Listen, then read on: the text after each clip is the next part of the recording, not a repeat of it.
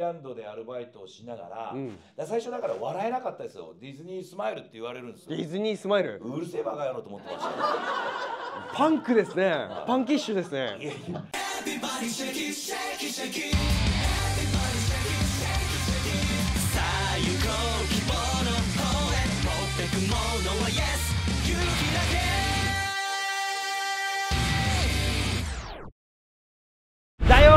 よ今日もどうぞよろしくお願いします、よろしくお願い。しまありがとうございます。はい。だよ。今回あの方がゲストとして来てくださいました、す。そうですね。はい。スーパースターですよ。スーパースターです。ーパースター。飛ぶ鳥を落とす勢いはい。はい。天下の。香取の兄貴でございます。香取の兄貴。香取の兄貴いや今回もね、あの香取さんあのツアーに参加していただきまして。いやよかったですね。あよかったっすか？よかったですね。あよかった。何が良かったですか？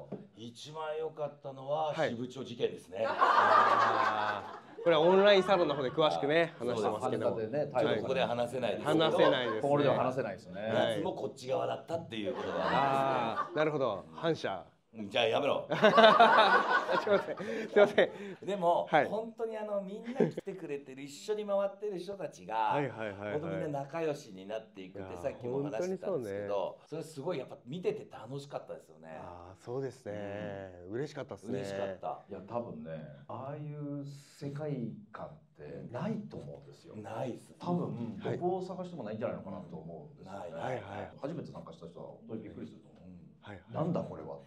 そうですね、うん。見たことないツアーです。あ兄貴もだって兄貴は2回目だったけど、はい。前回参加した時びっくりしたでしょ？びっくりしました。だって乗って5分ぐらいで、はい。じゃあここで兄貴終わりですって言われて俺降ろされそうになった。ん降ろですされそうになりましたね。あれは衝撃的な。よえ俺うん。本当に降りるの？これ。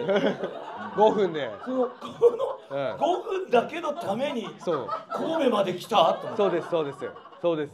しょうがないよね、うん。お客様が兄貴との波動の違いを感じたと、あー。お客様は神様ですとうん。ああ、はい。なるほど、はい。俺の波動が悪かった。いやいやじゃあじゃあ悪かったんじゃないんだよ低いんです。全然フォローできてないですよ。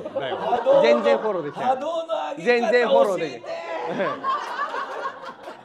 だよ、はい。ということでですね今回ははい。香取さんの波動を上げるためにどのようにしたらいいかということを教えてくれます今考えたら、はい、やいや前から決めてました。いや,、はい。い、や、はい。兄貴はご機嫌ツアーっていうのをやってるんですよ。あはいはいはいはいはい。で日本全国回ってらっしゃるじゃないですか。あれははい僕はあの解明した方がいいと思うんですよ。何何ですか？何にですか？兄貴のはい不機嫌ツアー。あ波動の低さが出てますやめてねやめて。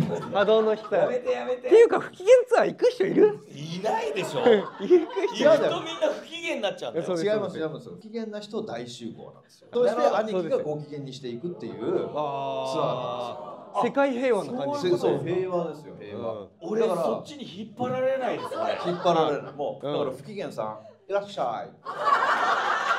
そこから始めるんですか？そうですちょっとちょっとやってみますか。はいやってみましょう。不機嫌さんいらっしゃい。あそれですそうです。なんか二人ともその部分に髪の毛持ってないんですよ。二人ともこの部分に髪の毛持ってないですね。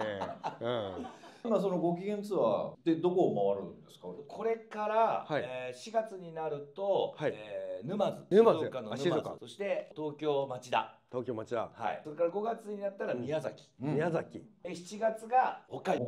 北海道。ということで、うん。あそうなんはい。ですね行かせていただきます。ロングですね。いいですね。はい。最高ですね。そこで兄貴はそのご機嫌ツアーっていうことは、はい。どういう趣旨でやられてるんですか？僕ね、はい。昔全然ご機嫌じゃなかったんですよ。ご機嫌じゃなかったんですか？はい、もうやんちゃばっかりしてたので、はい。問題ばっかり起きるんですよ。ああ香取さんに。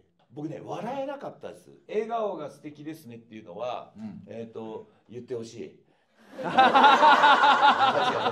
今今心の声が出ちゃった。あそうですねそうですね 欲求が出ちゃいましたね。うん。すいません。うんそうですねそう何です歳まで？141516えはい。14、15、16で笑顔が素敵とかなかなかないんじゃないですか？僕はあの睨む方が得意だったんです。あそうなんですね。睨むっていうかえにつける。因縁つける。そうなんです。メンチ切るっていうメンチが素敵とか言われることは言われないです。はい香取さんのメンチが素敵。でどっちが強いかどっちが勝つか負けるかっていうその二択で生きてたので。あそうなんですね。その時はうん。めちゃめちゃ問題ばかりですよね。問題ばかり起こってた、うん。でどうしようもないようなことがいっぱい起こってきて、なんでなんだろうと思ってたんですはいよね。はいはい。でところがそのディズニーランドでアルバイトをしながら,、うん。最初だから笑えなかったですよ。ディズニースマイルって言われるんですよ。ディズニースマイル？うるせえバカ野郎と思ってましたよ。パンクですね。パンキッシュですいやね。いやディズニー入っといて。うるせえバカ野郎。いやいやだって笑え笑えって言われるんですよ、はいはい。で、はい。一応俺も笑おうとするんですよ、はい。はい。誰も分かってくれるかもしれないですけど笑ったことのない人間が笑おうとするから、はい。めちゃめちゃ変な顔になるんですよ。え？できますか？ちょっと緊張しながらも笑顔で近づいてって写真を撮ってる人にん「お写真お撮りしましょうか」ってやると向こうが「えいいです」っって。ディズニーランドの時に写真撮ってる人に行っても、はい。みんな逃げちゃうんですよ。あそう。怖いから。怖いんすなねなんで受かるのそれで？人不足だったんです。進歩は進歩ですね。いはい、シンプルでしょ？進歩ですはい、もうその時点では人不足で潰れるってディズニーランド言われてたの本当に？そその時代はあの週刊誌とかに全部書き殴られてたんですよ、はいはいはい。うん。だから入れたんですけどそれで笑顔になれ笑顔になれって言われて僕ブチ切れたんですよ、うん。先輩に。ディズニースマイルスマイルうるせえこの野郎って。やばい。それやばいっすねうるせえなって言って笑えるわけねえじゃねえかこの野郎とかって言うから、はいはいはい。そしたら向こうもき切れたんでしょうね。はい。じゃあ笑うなって言ったんですよ。おかしい。おかしいだろって言って。でもやめさせてくれないんですよ。それやめろとかそういう感じじゃなくて。笑うな。でも働けみたいな。どういうことって言ってたら、そしたら優しい先輩が来て、はい。ね、皆さんどう思うかわかんないけど笑顔の練習とかってディズニーランドするイメージあると思うんですよね。割り箸加えてにって笑ってっていう。ああいうのは僕ディズニーランド卒業してから覚えました。あそうなんでだすね。から全くないんですよ。ないんだ。練習は。その時にでもディズニースマイルスマイルって言われてたんですけど、はい。で笑えないっすよねって笑わなくていいって言われたんですけど本当いいんすかって言ったらそしたらまああの人が言ってるのは作り笑いをするんじゃないっていうことを言ってるんだと、あ深いですね。どうやったらいいんですか？はい。どういうふうに笑えばいいんですかって言ったら、はい。あその時16歳ですね。まだ結婚もしてないし、はい。で赤ちゃんも生まれてないですけど、うん。もし赤ちゃんが生まれてたとして自分の赤ちゃんをこう抱いてる感じちょっとやってみてって言われて、はいはい。えー、と思って、はい。まあまあまあはいって実際に香取さんその時お子さんもいらっしゃったんですか？結構子だくさんでね。10代から。10代から。ブイブイ言わせブイブイ言わ 話進まないから。そうですね。ね。ほら止まっちゃったじゃん。喜んでますね。喜んでますでこうやって抱いてると、ちょっとさ自分の赤ちゃんをこう、あやそうとするじゃない、はいはいはい。ね、いないいないばーとかってやるでしょって、うんうんねちょっとやってみてって言われて。じゃあいないいないばーってやったら。それを見て赤ちゃんがうん。香取君のことをニヤって笑ってキャキャキャキャってやってるよって言われた時に、おおってなったんですよ。そしたらそれって言われたのその顔って言われたんです。すごい。その顔をしなさいって言われて。はい。だから微笑みでいいっていうのをその時に初めて言われた。あそうなんですね。あの全力の笑顔みたいな感じじゃなくて、うん。優しく微笑む感じそうそう。だから気持ちから出てくるはい。笑みが大事だから微笑みなんだよって。だから、はい。そういう意味では無理やり笑わなくてもいいよって、はいはいでも、お客様のことを知ってごらんって。そしたらはい。こんな思いで来てくれてるのかとかこんなとこから来てくれてるのかっていう、そういうのを知ることで多分自然と自然と笑えるように、笑顔になれるよって言われてそこから自然とはい。なんとなく笑えるようになりました。あそうなんすねおめでとうございます兄貴も時間が迫ってきたんで、はい。はい。兄貴はジャングルクルーズだったじゃないですか、はい。はい。ちょっとジャングルクルーズちょっと披露してください。やりましょうか。本当っすか？本当ですか？いやーお待たせしました。青い空白い雲やってまいりました。皆さんのボートアマゾンアニー号の到着です。改めまして皆さんこんにちは。こんにちは。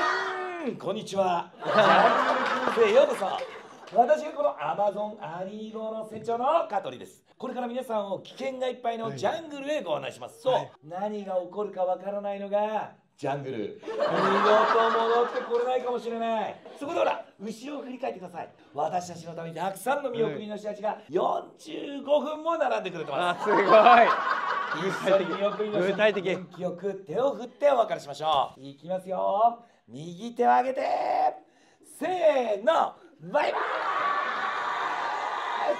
イ。盛り上がってきました。ありがとうございました。ありがとうございます。香取さんありがとうございます。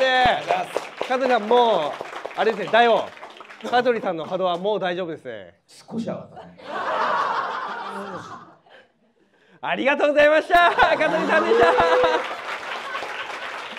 動画をご覧いただきありがとうございます。ありがとうございます。チャンネル登録高評価。コメント。